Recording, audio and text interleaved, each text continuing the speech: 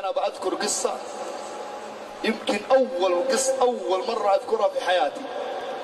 هذه القصة والله الذي لا إله إلا هو. إني قلتها والآن بأذكرها لعدة أسباب. هذه القصة الشاب كان معنا وحضر معنا وسمع إلى ذكر الله عز وجل معنا.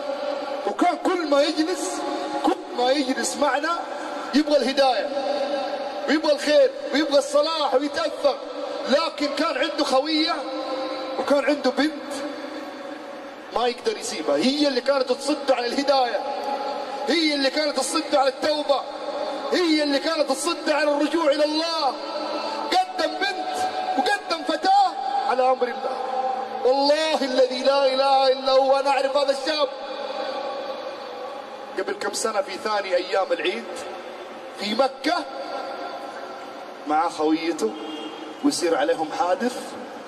البنت أصيبت بشلل ودخلت مستشفى. والولد هذا شايلينه في الإسعاف.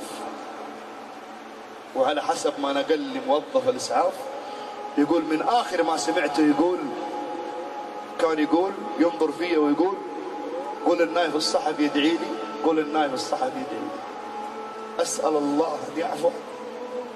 وأن يغفر له. يجعل قبره روضة من رياض الجنة. إيش اللي صده؟ إيش اللي رده؟ بنت.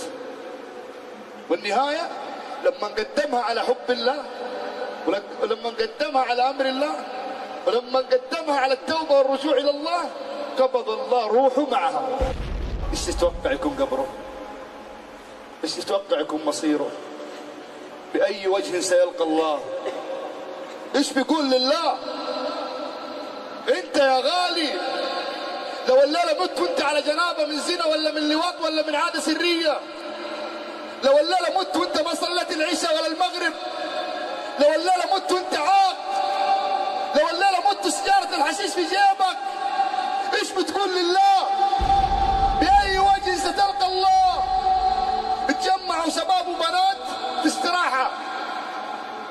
السكر موجود والحشيش موجود. قال واحد منهم. والله الليلة هذه ما باقي لها غير أكل ما باقي لها غير عشاء. أبى أروح أجيب عشاء وأجي. طلع من الاستراحة. طلع من الاستراحة عشان يجيب عشاء. والاستراحة مليانة شباب وبنات ومخدرات. ساعة ساعتين. ما جاء هذا الشاب. لما راح يجيب العشاء وجاي في طريقه للاستراحه صار عليه حادث.